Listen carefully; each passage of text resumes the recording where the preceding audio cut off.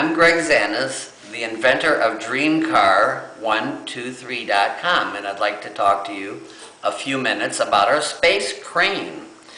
To, with today's new technologies using spider webs, they have much, much stronger cables than the old standard steel type of cables. And another beautiful thing about the new cables are they're so much, much lighter and able to haul as much and or more. Steel cables, if you were to look at our painting here, if we were to run a steel cable from our satellite to Earth here, the weight of the cable would be more than the 30 tons that the individual wedge is going to weigh, making it next to impossible to haul its own weight. And also a steel cable weighing 30 tons and 30 tons of material wouldn't be able to handle the stress with today's new spider web technology being used in the new bungee type cables it offers us also a flexible cable.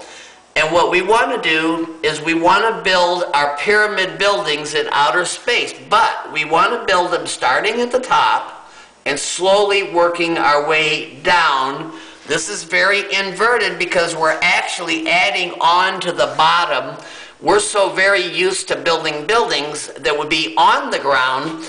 And of course, anything on the ground, you would start on the bottom and work your way up to the top. We want to do the opposite. So what we want to do is start pulling wedges out into outer space using the new cable and then slowly getting it to break out of the Earth's gravity. You can see right here is the very first stop where it's actually pulled out of the Earth's gravity, the black showing the heavy gravitational pull. And on this spot here, we're just about out of Earth's gravity. And here we're totally out of Earth's gravity. With a smaller cable, you can notice that this distance has gotten shorter and this distance has gotten shorter until we pulled it all the way in. You can also go to our new web page where we have this painting up. Right now as we do several of the other smaller paintings that are up and you can zoom in on high res and you can come in and see the details of this. And what we want to do is start building these buildings in outer space if you're if you watch our videos and subscribe, you're going to see where pretty soon we're going to be talking about what each of the wedges do. A lot of the wedges, you grow plants in them. We're hoping to grow four crops a year. And a lot of the corner units we're going to have for types of livestock, with sheep and goats and cows and pigs and, and turkeys and, and whatever it takes to sustain life. We're hoping to build a community that's totally self-contained, that recycles its own water. And once we get several of these built, we're hoping to be able to send these off out into deeper space.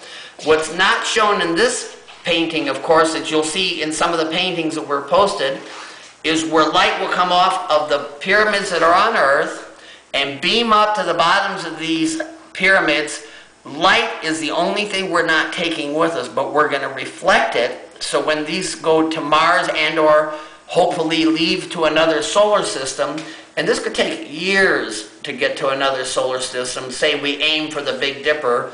It could take 20 years or it could take 300 years.